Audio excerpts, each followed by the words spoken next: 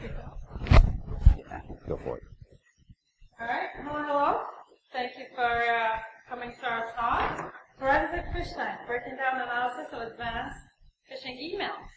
And I'll start by uh, letting Joe introduce himself.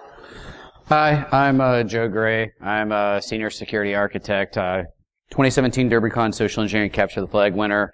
Uh, last year, the Password Inspection Agency got third place in the OSINT CTF. Um, when I came down, uh, we're in third place again this year. So if anyone has any specific information relating to Jim Nitterauer, Security Panda, or Damon Small, please uh, send a DM on Twitter to uh, DFIR Noob. Uh, Chris did say we could uh, crowdsource the uh, flags, so uh, I can't compete right now. So if you want to help out, go for it. Um, but beyond that, uh, I'm writing a book with uh, No Starch Press right now as well. So that's pretty much me. Oh, All right. My name is Sophia Fowley. For those who don't know me, I am the founder of Besides Nova, back uh, established back in 2016. We just done our third uh, con um, in March. Um, I'm also a blue teamer for an insurance company. Uh, speak three languages, so if anybody needs translation to French or I can help. uh, I try to mentor whenever I have time, and I'm also a Nova Hacker member uh, back in Virginia.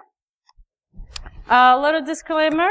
Uh, none of the views or thoughts in this uh, presentation reflect those of the organizations we work for or represent. So, all right. So to kind of define the objectives, we're going to look at things both offensively and defensively, so kind of in a purple team sense. Um, so on the offensive perspective, we're going to look at considerations of spoofing versus squatting. Uh, a little bit about payloads and links, not anything too heavy there, uh, as well as timing and um, the infrastructure and uh, evasion when necessary. Um, defensively, we'll look at, of course, the mitigation detection and um, key operator here, attempted attribution. Yeah. Attempted is the keyword. Um, so the basics of social engineering. Uh, what is human hacking? Um, it's basically the ability for social engineer to manipulate a victim's frame of of of um, of reference. Um, it's the art of persuasion. Uh, you, the social engineer, have the ability to motivate the victim to do what they want, they need them to do. Uh, we see these, we, we see this kind of attempt every day um, on ads, right? Marketing organizations try to manipulate our thought to get us to purchase, to feel the need that we have to if we want to look cool or all, all, sorts of things with building rapport. It's um, car salesmen are probably the most infamous social engineers. Um, they probably are some of the most poorly trained, but they're there as well. So sales and marketing, basically social engineering and open source intelligence, just with a different outcome. Yeah. So looking at the types of social engineering, um, it, it, typically social engineering does usually result in a dumpster fire. Your mileage may vary. Um, but with this presentation, we're going to focus on phishing, but know that you have vishing and smishing as well. Um, there's the whole physical security aspect of sneaking in places, lock picking, um, subverting those types of systems, dumpster diving, and baiting as well. Um, so uh, digging into social engineering just to kind of set the tone for this. Um, I get this question a lot of, I want to get into social engineering, what do I need to study?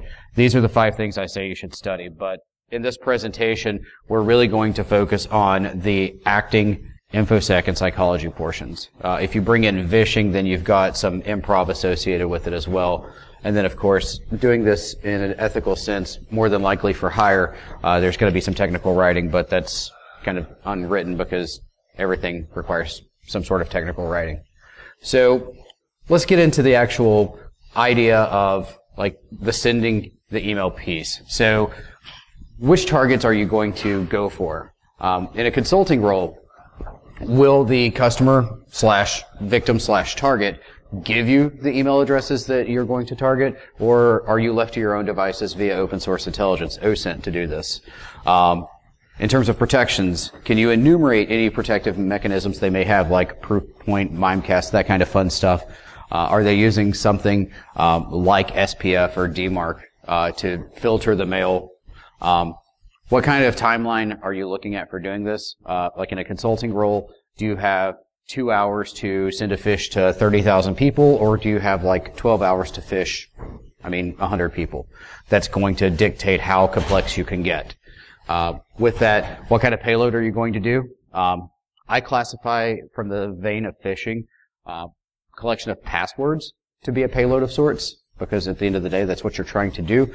But it could also be an actual file um, of some sort of malware, such as like a macro-enabled Word document. You could build something in, say, uh, Venom or Empire or something like that, um, or it could just be click the link, and then the link can handle the dirty, the dirty business for you.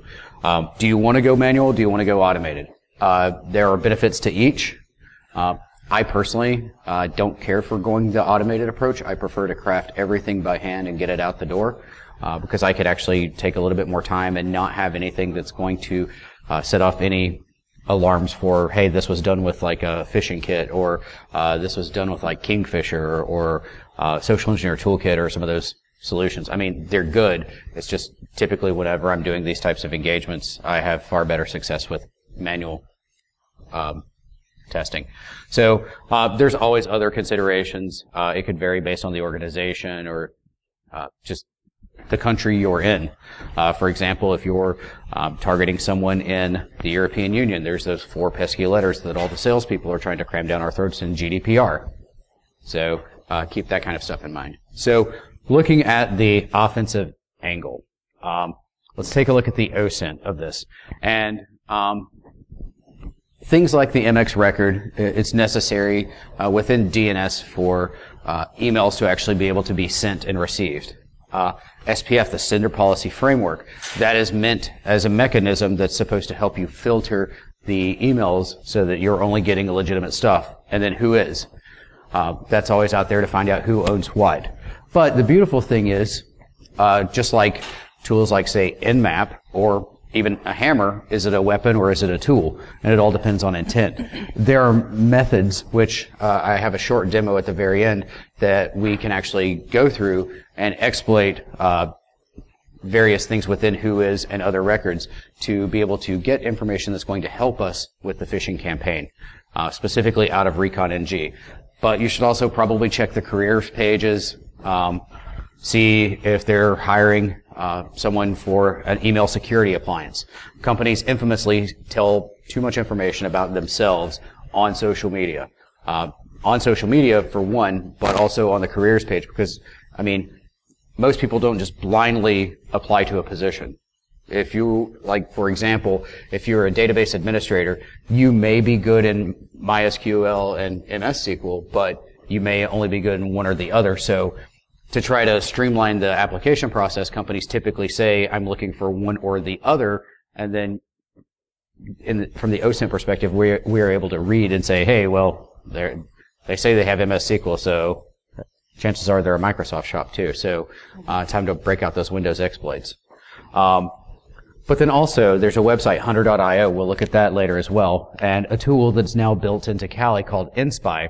Uh, it's not installed by default. It's just apt-get install uh, NSPY, and it's right there. The only thing you need is an API key to Hunter.io, which is free. Uh, and you do that, and it will query Hunter.io for the email syntax, and then it will query LinkedIn for employees of said company and build you a target list.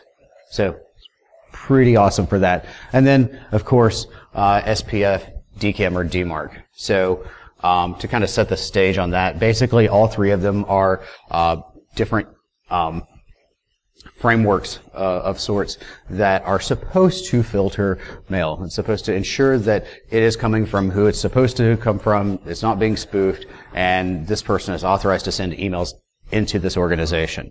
Um, SPF has already had holes shot in it, like Swiss cheese, so it's really not that effective anymore. Uh, there are some vulnerabilities within DKIM, um, but not too many, and that's domain keys identified mail. And then the other one, which if you look back to late 2017 into 2018, was the entire crux of uh, certain vendors' uh, email pitch uh, to sell uh, solutions. Uh, the federal government, through binding, oper- Binding Operating Directive 1801 mandated that all agencies uh, implemented DMARC. So, of course, the vendors did what vendors do, and that was like their whole marketing thing of "Thou shalt do this." Um, some social engineering in itself. Um, if they are configured correctly, they can stop spoofing in its tracks. They don't really work too much against squatting uh, unless you explicitly uh, define that it has to come from this domain. Um, but at the same time, uh, it's it works sometimes, but most of the time it won't. So I've mentioned squatting. Let's let's think about how the squatting would work. So you want to know the syntax of the email addresses. So do they use first dot last or first initial last name, last name first and middle initial? What? And hunter.io is going to help you with that. You can go and look. You type into the domain, it'll tell you, hey, this is the syntax used. Um, you want to find out what domains they own. So if they own uh, something.net and the .com is available, buy it. If that doesn't work, then you can always go with like .us, um, which that one I don't really care for because you can't use WhoIsGuard. You must say it is you. Uh, but you can do some other ones like .tk, but that's a little bit sketchy because a lot of malware uses that because it's a free domain. But you can also buy others like .info uh, or .life or something like that. They're like 99 cents. Um, but anyway, you purchase a sim- similar domain. You determine what kind of mail client you're going to use. You can set it up yourself. You could put it through your hosting provider if you want to use like Bluehost or something like that. I personally like to use Google Apps, and I'll explain why uh, on the next slide. But um, it's it's definitely worth it. Um, and then of course you need to wait a week, a couple of weeks, because a lot of filtering solutions look for the age of the domain. If the age of the domain is like less than two weeks, it's going to drop it. And I mean that's a good practice, but what I do is I just buy a bunch of domains and then wait, sometimes more than a year, and then I finally use them for something. Like uh, I don't remember the actual top level domain, but one I have is like password hyphen reset, and I've used that three times and I've owned it for like four years. So it's, uh, it's fun for that. And then of course, seek and destroy. So what if I told you you could do all this for under $25? Pretty easy. So you get you a VPS interest, instance. I like DigitalOcean. You can use a $5 box. Uh, so you're, you're not doing any like hardcore um, web traffic. You don't want the public internet to be on this. You don't want the bots and scanners looking at it. So a five dollar box will be more than sufficient for what you're trying to do. Uh, so five dollars. We're there right now. Purchase your two domains. You need the sender domain for your squatting, and that's going to be the more expensive of the two. That's going to run you probably about 15, uh, unless you go with like a .io, which will be like maybe 32, I think it is. Uh, but nevertheless, you have that, and then you get your landing domain, something like CGI-bin or password reset or something like that. You get it, and whenever you stand this up, what I've done in the past is I have a perfect clone of SurveyMonkey, and I go to the company's website, I steal a high-res logo, and I slap it on there asking for email address and password. I pass it via the GET request, so I don't have to maintain a database. So it's way faster to stand up. I have a vanilla instance that doesn't have a logo in it. Um, and the, the server itself, I've got an ISO for it. So every time I do this with a customer, I stand up a new one, finish the engagement, close it, and then next time spin up off that ISO again. So it's clean in that sense, and I don't have to stand up any database instances or any of that. So that definitely makes life a lot easier. But anyway, when you do this and you configure the uh, actual Apache web server piece of it, you give it a really long subdomain. If you can take up the whole uh, address bar, more power to you. Um, sometimes people are going to open it on their phone, so that works out there as well. Uh, for example, if I were going to do one here, I would do like uh, NOLACon Information Security Conference, New Orleans, Louisiana, uh, attendee satisfaction survey cgi-bin.tk. so people are going to catch on to it, but at the end of the day, when we're doing these types of engagements, we're not necessarily targeting the people in this room. We're targeting more of the people that we seek to protect. So uh, that's something to keep in mind. Um, so then we we get the two domains for that. Um, once you have it set up, I mean, we we all remember the time that we were told that if it has the green lock, it's safe, right? Well, Let's Encrypt allows you to do that for free. So no additional cost there. Um, do your OSINT, get everything together. For the email portion itself, um, the Google part that adds five dollars. So at this rate, we're five dollars for Google, we're five dollars for DigitalOcean, we're about fourteen dollars for the sending domain, and we're at like ninety nine cents for the landing domain. So that comes to like twenty five and some change, depending if you have sales tax and all that fun stuff. So it's definitely under thirty.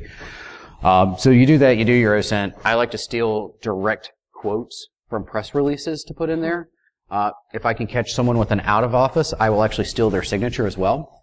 And then when it comes in, it's going to come from mail.google.com. Even though it's a different domain, the incoming mail server is only going to see it as mail.google.com. And while that could be blocked, for the most part, who in their right mind is going to block Google from sending inbound emails? I mean, that's going to shut down HR. That's going to shut down a lot of other things. So it's just not practical. So it's like, what are you going to do? And then, of course, you wait. So wait for the results, get your fun and profit, and then go uh, go with it from there. So I'm going to pass the floor over to uh, Sophia. All right. So as far as defense, what do we do uh, when it comes to protecting our uh, users? Well, some of the things as far as mitigation, um, as most of you know, uh, one of the weakest links in security has been the human. Um, so I'll start by saying that user education is number one. Um, new employee campaigns. Um, make sure you have a monthly for every uh, set of employees that you get. Targeted campaigns seem to be more efficient. Also, um, the things that your finance department will fall for are not the same as the marketing department uh, or your HR. Um, even uh, how many of you have had uh, one of their employees of the security team fall for phishing? Right here. yeah, pretty funny. Um, I had this uh, employee who reported the fish, then clicked the link. So, um, so and also continuous training. Um, we by by nature we get too complacent, too comfortable in our environment. We think we know it all, um, and before you know it, we we forget to be cautious. Uh, we sometimes some of us rely too much on on the tools, think we're fully protected. Uh, so continuous training is a must, uh, monthly if necessary. Um, tagging emails, external emails having a banner that clearly states that this is an email coming from external source. I personally, from experience, have seen uh, a, a, reduced success rate to our uh, simulated phishing campaign just by adding the banner itself. Now, uh, the number of reporting phishing will go up, even for legitimate emails, but nonetheless, uh, it protects from uh, those phishing ones. At least it brings some caution to the whole process. Um, again, properly configured DNS um, has been uh, a, a, big uh, point for mitigation, um, just like Joe described. And and I'll, you know, most of us don't know or very familiar with these frameworks, but SPF basically relies on IPs. It tells uh, the organization what IPs come from what domain. Uh, DKIM is basically an encryption framework that uh, basically validates which email comes from what domain, right? And then you have DMARC who combines the two. Uh, the fourth thing that I can think of is basic uh, enforcing of separation of user accounts. Um, hopefully, you're not using your admin uh, credential uh, to surf the web. Um, and, and, and, simple things that can be done to mitigate um, uh, and evading phishing attacks. Um, when it comes to detections, uh, email security tools. Um, again, these are products, Proofpoint, Mimikatz, Fire, Those are just example of tools that you may see throughout your organization. We, by uh, no means, support or endorse these tools. These are just uh, example um, of, of tools that help with malware protection, attachment sandboxing, right? Um, URL rewriting. Um, this one will record if anybody clicked on a URL, if it got allowed, if it was denied. Um, if an active block is in place, if finally your tool um, detects that uh, a URL is a credential harvester. So then you know that everyone, even if they click on it, it will be eventually blocked. Um, rely on, your threat intel feed, vetted threat intel feed to the tool, which hopefully will email, will quarantine some emails. Um, putting blocks or permit senders. Um, if you notice an email address that's targeting your ELT, you can go, go and put um, a uh, a block for that email address so that it prevents further emails from targeting your ELTs. Um, they also have spam filtering. Uh, so these are basic things that come with the security tools that can be easily implemented in the company. Um, now, next, Joe is gonna take a, a, shot at attempted attribution, and we really want to enforce the keyword right, attempted yeah. here. Um, if we could have made the font any bigger uh, for attempted, we probably would have, uh, solely on the fact of just to make it more obvious that we're not saying you can always do attribution, depending on who the adversary is. If it's a very complex, like say, nation state, uh, those of you who are playing uh, buzzword bingo, uh, go ahead and hit your card, take a drink, whatever you're doing. Uh, but anyway, depending on the uh, complexity of the adversary, you may have a hard time performing attribution. Uh, you may do incorrect attribution even. So it's something to consider. Uh, but there are tools out there that could help. And basically, uh, your best bet is to see where the things exist, uh, where the characteristics of this specific campaign exist otherwise. And you might not be able to say, this was Dmitri in St. Petersburg, Russia doing this, but you can say that this is associated with Locky ransomware. So that's something to consider. And a few tools, I, am all about free. Uh, so Alien Vault has OTX, uh, there's Threat Miner, Threat Crowd, uh, Passive Totals, another one. Uh, IBM has the uh, X-Force Threat Exchange, and then of course SANS has the uh, Internet Storm Center to give information about that. So at this point, I'm going to do a few quick uh, demos. Uh, so just gonna end the slideshow momentarily.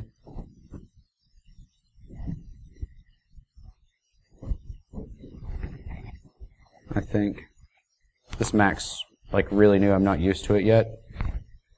So just trying to get to what I'm looking for here. Um, I have not done any sacrifices. So uh, what I will do is I'll just drag and drop. So we'll start. This is um, what I'm about to drag over is a smish that I received claiming to be from SunTrust. Um, the beautiful thing is I never use SunTrust. So uh, basically, uh, I just got it saying that something had happened with Amazon.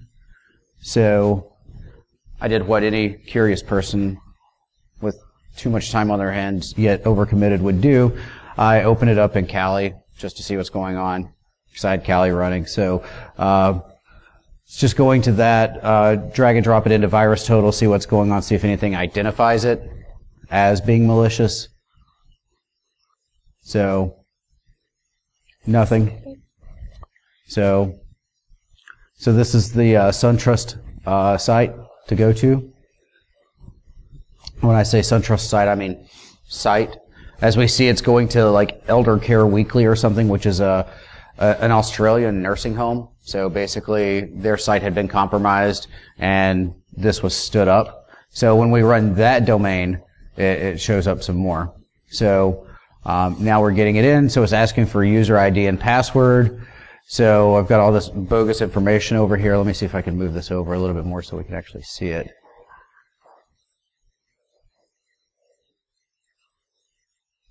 There we go. So got all this fake information, so I'm just copying and pasting things in here. So there's the fake password.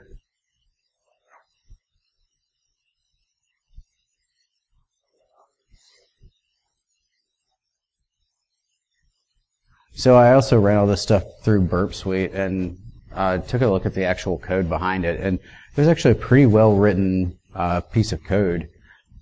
So honestly, whoever did it was very talented. Uh, there's a fake credit card number if you want to use it. Uh, it uh, if you want to take it down, it's four eight six seven five three zero nine nine zero three five seven six eight four. Um, so I fed it some garbage there. Uh, for the pen, of course, 1337. And, and this, uh, social is actually a retired, um, wallet manufacturer. It's a retired social because a wallet manufacturer took his secretary's social and made copies of it to put in all the wallets to ship out in 1938. So, uh, got that information. Just, I'm just feeding it garbage and trying to see what it's doing.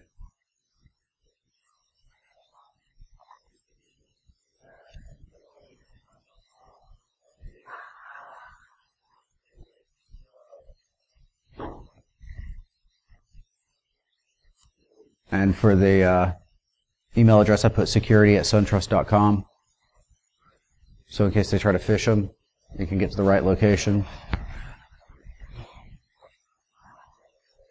There's a bogus address on Rodeo Drive.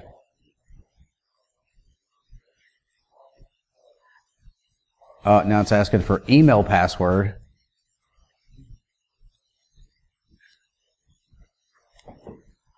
Just go ahead and drop that in there too. And then it actually redirects. So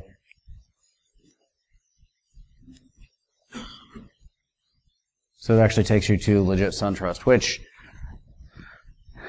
I don't want to hate on SunTrust, but they probably should have been watching for redirections into their page. So, I mean, I don't know how long this had been stood up.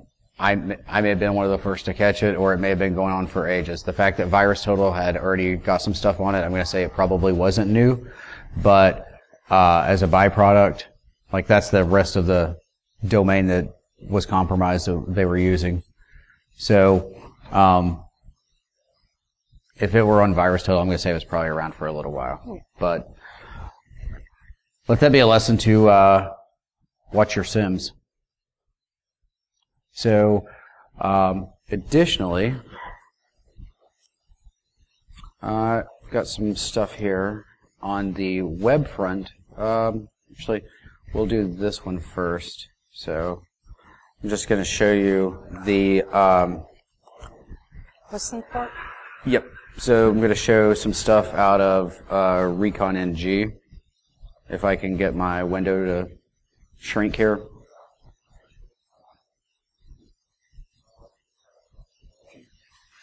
trying to see if I could convert this over, but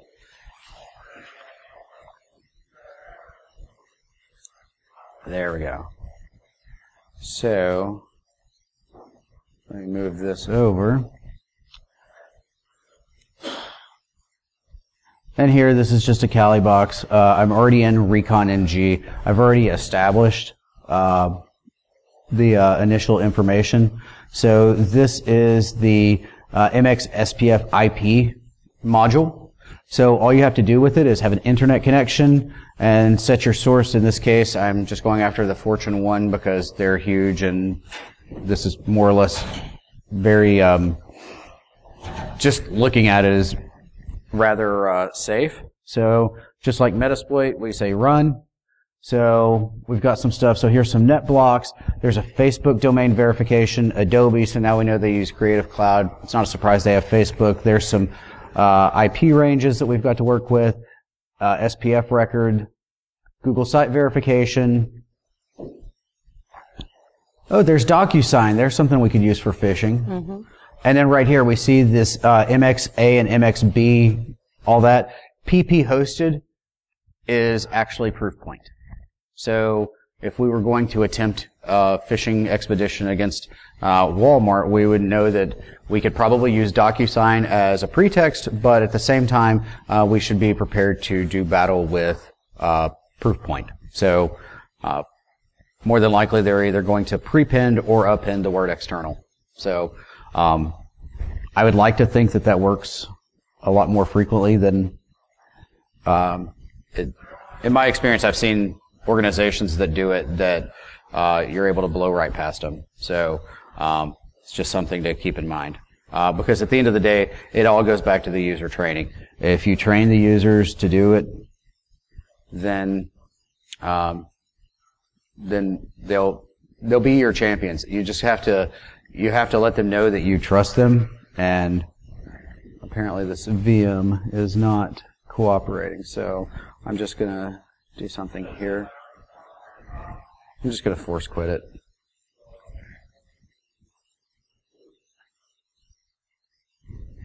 Okay, so now, once I find my cursor, here we go. So this is just an um, a pulse I created based on a phishing campaign. Uh, it has a lot of information. Um, it's on Alien Vault OTX. Um, in my previous position, I was an Alien Vault instructor, so I had to create pulses for class all the time. So I got tired of just giving dummy information and just started creating real ones based on what my honeypots were seeing. So here we're able to see there's some hashes, uh, some IP addresses, some URLs, domains, uh, host names, and then as we scroll down, we can just see there's some hashes and some IP addresses uh, and what have you. So with this, uh, I'm going to copy and paste this IP address into another utility that's fun to use uh, called Threat Miner.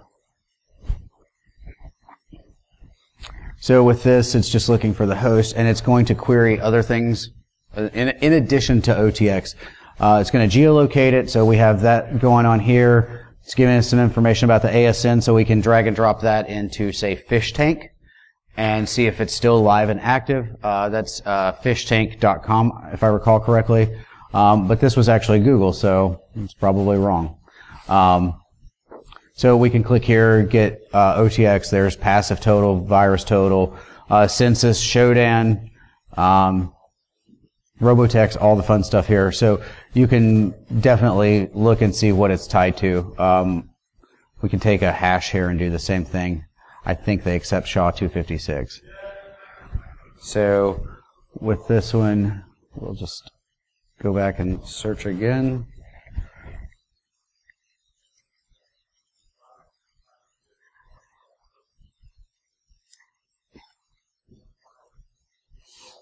So we've got the sample and right there, but it's that's the the pulse that uh, I was referring to. So uh, you have other things you can look at with it as well. So it's just a good place to pivot. Like if you say, for example, you get an email, you think it's a phish, you want to do some further verification for it.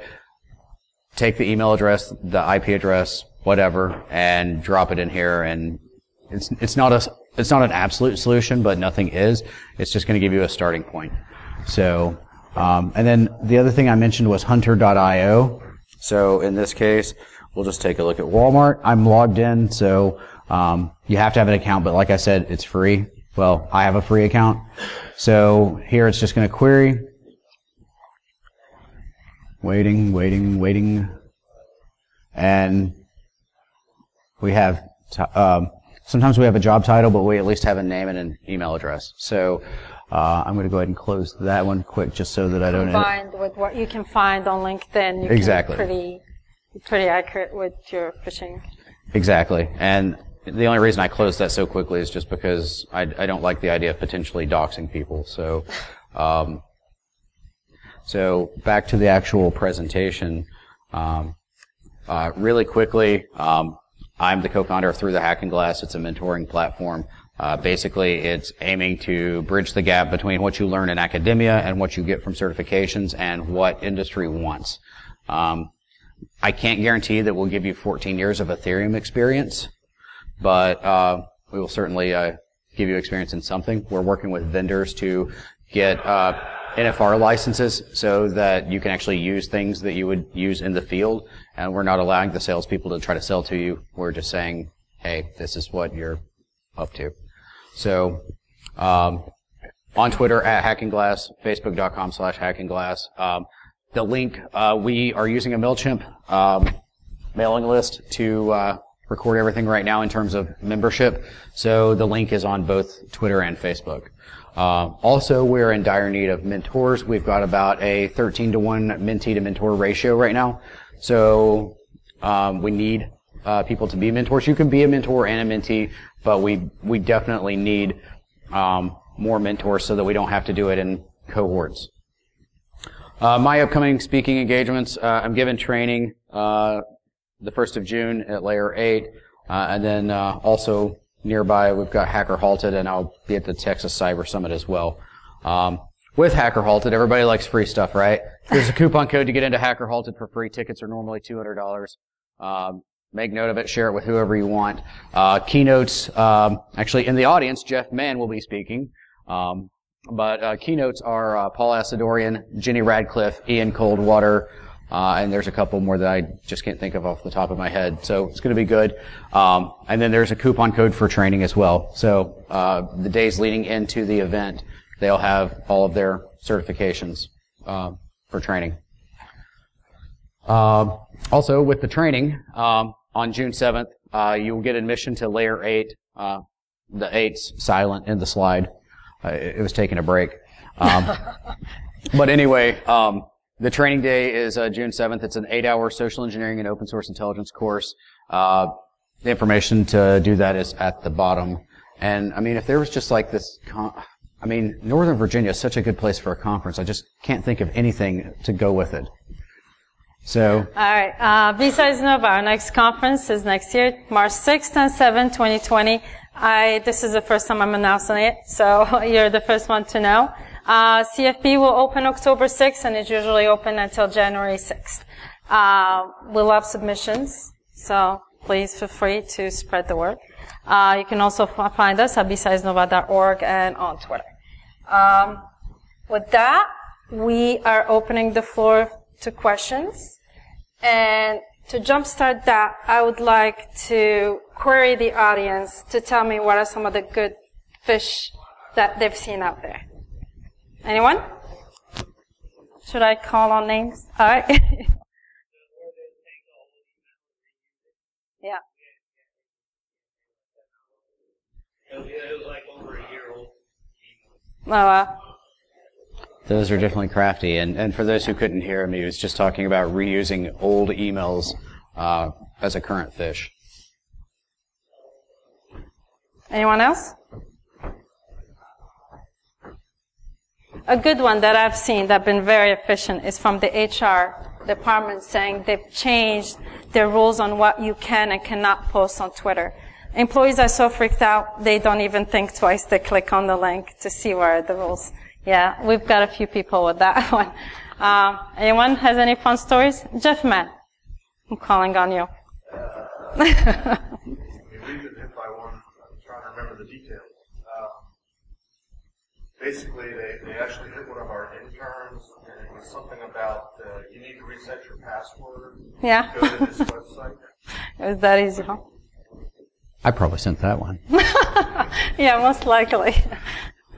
What was funny was it actually happened at the same time we were going through a security awareness Training. phishing training exercise. So between the fake one was the real one. It's fake news. so one, one that I've um, always wanted to do, but I've never got anyone to agree to actually let me do it, is I just want to spam people like every day for like a month with like this bogus newsletter and purposely not have an unsubscribe button at the bottom. And then whenever I finally choose to do it, I'm going to send an email apologizing for being in violation of the USA Can Spam Act and say click here to unsubscribe. Oh, that is a good one. Didn't think about that. one. Yeah. That's pretty crazy. Yes. It was like a US Senator DHS thing a couple years ago that was like, click here to see if your computer's vulnerable. Mm-hmm. And that actually was from DHS. I was like, why hasn't somebody thought of doing this prior to that for a phish campaign? Something like that's just so over the top. It's like when when like when I'm planning something like that, I'm like, their users can't be that um, naive. Yeah, that one was actually legitimate. Right, exactly. Well, I mean, I'm not gonna say anything. Yeah. Um, so, um, like a story about a really good campaign that I ran.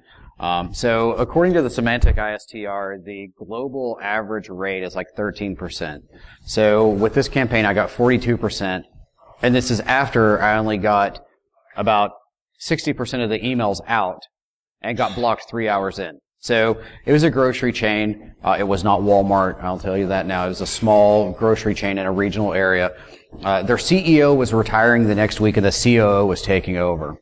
So Uh, basically, I went out, I found some press releases, I copied and pasted it in there. I bought the US to their.com, did all the infrastructure with uh, what I was talking about, the $25 deal, stood it up, sent the email out. Um, one thing that was really notable, similar to Walmart, they didn't call their employees employees. It was like it was like member owner or something. I don't I don't remember. Associates. Well, that, that for Walmart it's associates, but for this company it was like member owner or something to that effect. And basically, I just sent them low and slow, like 10 to 15 at a time, uh, and I would wait a few minutes in between each one. I got about 60% of them out, and then I started getting bounces blocks, and I was like, hmm. So then, um, my security point of contact forwards me what their network uh, head had sent out to everyone. Well, then when they they forwarded the email and said, "Don't click this," Like, what is it that I'm not supposed to click? let me click it to see what I don't need to click. And what it was is it had the MailChimp. The first page was what's your email address and password. And then the next page was like password reset questions like your mother's maiden name, your school. But I never asked the mother's maiden name. Uh, anyone who sees me out on the street, you'll see me asking questions like, hey, what was your mom's name before she was married? And like in the South, like I'm from Tennessee, uh, I'll, I'll just stroll up on somebody and be like, who's your mama's people? Works like a champ. Um, I, I, it might even work out on Bourbon Street. I might have to try that tonight. uh, but anyway, um, with that, I asked those questions on the third page. It was originally a logic flaw. It was like an infinite loop on that third page that said, sorry, the survey's closed. And originally I was like, do I want to fix this? Mm, maybe. And I was like, no, I want, I want someone to report me. And I think that may have been what saved him. And then I waited a couple of weeks and I was closing the account out. Uh, I had already taken down the web server, but I was closing out the Google account before I got billed for a second month. I mean, you know, five dollars is hard to come by sometimes. Um, but anyway, uh, the now CEO uh, of whom I had spoofed, well, squatted, was on seven internal ultra-sensitive mailing lists, and it was going to the wrong account. I had this this guy's schedule. I saw like confidential company information, got meeting invites. I just forwarded it to the the company, like my point of contact. I'm not going to say what he said, but it rhymes with something that might walk and sound like a duck. Uh, and it, he, he was rather concerned about that. So, um, and then basically after that, they had everybody reset their password, and I stood everything up for password reset dot whatever it is, and they're like, okay, in 60 days, come pitch us a new phish. Okay, cool. And uh, I pitched it. I wrote everything up. I sent it. Uh, I made my vice president aware because this was a, a, previous position, and uh, I had gotten on his bad side somehow. I'm not sure, to be honest. Um, he calls me by to come to his office. I was like, "Oh boy, I'm in trouble again. What have I done?" So I go there. He's like, "They're not going with your phish." Because what it was was I was going to say something to the effect of, as some of you may know, uh, approximately 60 days ago, a malicious adversary ran a phishing campaign and compromised some, some credentials. So we subscribe to a service that watches the dark web for uh, our passwords, and everyone in the organization's passwords have been compromised. Click here to reset it. And that, hence the password reset dot whatever the TLD is. So, um, yeah, they said no. but, oh, easily. And I'm pretty sure the network guy was actually one of them that fell for the original phish, so that's probably why he blocked me so quick. Yes, Jeff. Remember what it was? They somehow spooked employee's address. It was an intern. And it was, there's, here's this document that you need to read. If you clicked on it, it went to a site asking you to put in your domain credentials to unlock and encrypt that. Hmm. Clever. Rather sinister. Clever. Yes. My favorite one this year. I work for a university. Mm-hmm. The picture would get department head's name off our website. Email the department. First email would be, "Hey, I'm in a meeting. I have a really important task for you. Are you busy?" And then more employees that I'm comfortable with sharing would reply and say, "No, I'm not. What do you need?" The next mail was, "I need you to go to the store and buy me IT gift cards. Scratch them off." Send me the picture. But thankfully, most people knew it was a scam at that point. We had one faculty person call. There's a guy with a PhD. He says, I did it. We're like, what do you mean? So I, I sent them a picture of the card that I bought. So we're like, all right, well, you got scammed for 20 bucks. You know, what's the money? He's like, No, it was five hundred dollars. Oh, Oh my God. we're removing the actually called PhD. Apple, and they refunded the money, but they told them it was a scam, which was very surprising. All that money spent on a PhD.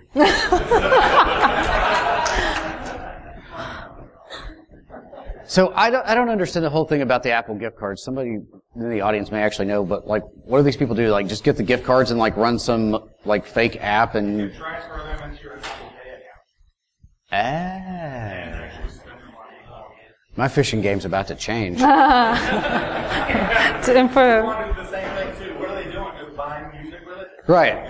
I was like, yeah, because I was like, Apple Music's nine bucks a month and you can listen to whatever. Why do you need to, like, do you have like, you know, 50 people who want to listen to, you know, Lynyrd Skynyrd all the time? So, I don't know. Um, we got a little bit more time. Anyone else? If not, then that's all, folks. All right. Oh, we do have one. more. Yes, they're definitely attempted. just breezed over a list of tools and I was like, ah, right. Okay, yeah. Uh, so. The demo again? just curious, like, even the, the points of that and what you hope to accomplish. Okay, so with, within the email, if you're receiving the email, there's a good chance someone else is receiving the email. So by using things like OTX, like Threat Miner, like Threat Crowd, I would say start at Threat Miner and then just use it to pivot out because it's connected to everything else. Except for, I don't think it's tied into IBM's, but it's there too. Uh, and there, I mean, there are others out there as well. Uh, but basically, you can take the source of the email, look at the email address that it proposed, uh, the, claims to be, the where it actually came from, uh, the IP address that it came from, all of that fun stuff. Drop it in there, and then see what is this tied to. So uh, things like like Locky, the exploit kit associated with Locky, uh, there was a huge phishing campaign that actually deployed that. So there were a lot of things that were very similar in the deployments of that exploit kit. So in doing so, by having that or the like the hash of anything that they try to get you to download, uh, then you're able to say, yes, this is. You're you're basically looking for a signature to see if someone else has already done the analysis. If you're the one groundbreaking the analysis, it might be a little bit different. But I mean, if you're groundbreaking, you might even be able to find some malware that's never been seen before and name it. After you. Yeah. Big deal in the community. So that's basically that's what you're doing. Like it's operating under the idea of if I'm having this problem, someone else is probably having this problem. The same reason why I love doing OSINT on like Stack Overflow, or looking at like mailing lists that have since been um, archived into a website. Uh, during the DerbyCon SECTF, I found um, that my target company was using a specific storage array, and they had been having problems because the guy did not take his uh, his signature line out. He didn't even work there anymore, but the damage was done. So stuff like that. I mean, it's it's a dime a dozen. Anyone else? Okay, if there's nothing else, then that's all, folks. Thank you very much.